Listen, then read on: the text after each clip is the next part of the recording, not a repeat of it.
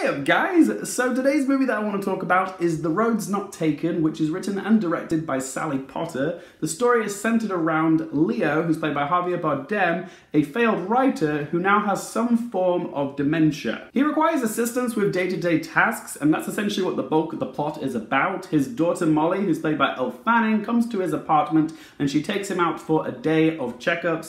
The dentist, optometrist, with a brief layover at the doctor's as well. Simple enough plot, but there's more to it than that. Potter divides the focus of the film into three narrative strands, the primary one being Leo's day out with his daughter and all of his appointments. Leo constantly looks like he's in some sort of fugue state, like he's living in his own fantasy. The other two narrative strands suggest to the audience that Leo is envisioning the life that he could have had if he had made different choices. One strand sees him in Mexico with his first love Dolores, who's played by Salma Hayek, and the other sees him living somewhere remote by the sea, trying to finish his novel. We all have those moments where we wonder what our lives could have been like if we had made different choices or taken different paths, the big what ifs of life, hence the title of this film, The Roads Not Taken. But it's ironic that a film all about life could be such a lifeless watch. I get what Potter was trying to go for, but I found The Roads Not Taken to be flat confusing, and devoid of joy. It's competently shot and the acting is sublime, but I don't think Potter painted a clear enough picture. For starters, the narrative strand involving Salma Hayek was confusing. I wasn't sure if this was intended to be a flashback to when Leo was younger,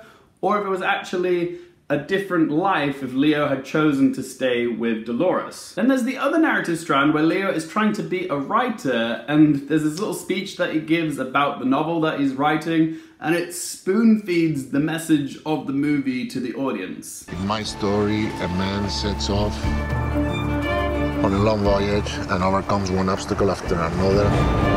He has to decide to continue his life in exile or to come back home. It's just very cliched. Yes, life is a voyage and we all encounter obstacles along the way. That is life. It's just not very nuanced. Also, the content of Potter's script is quite bleak. It's one day of relentless despair for both Leo and Molly. Things going wrong, misunderstandings, people treating Leo like he's not even a person. It's a bit of a downer of a story. I mean, all credit to Potter for sticking to her convictions, but a drop of hope every now and then can go a long way. The ending of the film has a moment between Leo and Molly which is meant to be catharsis for the audience, but it's then undercut by the very last shot of the film. It's a little bit of a spoiler, so I won't say what it is, but it involves two choices for Molly and the execution of it is a bit on the nose. We all make choices, heck this movie is all about life and the choices that we make, but Sally Potter, that final shot was a choice. In the end guys, The Roads Not Taken features some top-notch performances from Javier Bardem and Elle Fanning. They deliver touching, sensitive performances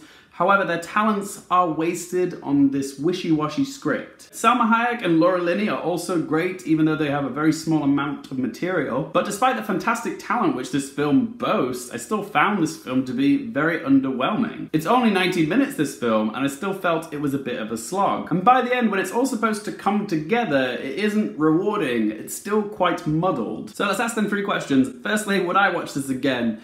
No, this is just a one-time watch. Second question, do I recommend it for you guys? Sorry, it's another no. The lack of joy makes it a joyless watch, so no, I wouldn't recommend it to family or friends, so I'm not to recommend it for you either. And question number three, what score do I give it out of 10? The Roads Not Taken is salvaged by some committed performances from Javier Bardem and Elle Fanning, However, it is a bit of a wet rag of a film and I didn't really enjoy it, so I'm going to give it a 3 out of 10. But as always guys, this is just one bloke's opinion. I want to hear from you. Have you guys seen The Roads Not Taken? What did you make of it? Whatever your thoughts and opinions, be sure to let your voice be heard in that comment section down below. If you guys have enjoyed the video, please do hit the like button. If you want more movie and TV content just like this, don't forget to click subscribe. If you want to follow me on social media, Twitter, Instagram, Letterboxd, so on that video description down below. And as always, thank you guys so much for watching. For more things related to movies, TV, and popcorn culture, I'm Luke Hearfield, and I'll see you next time.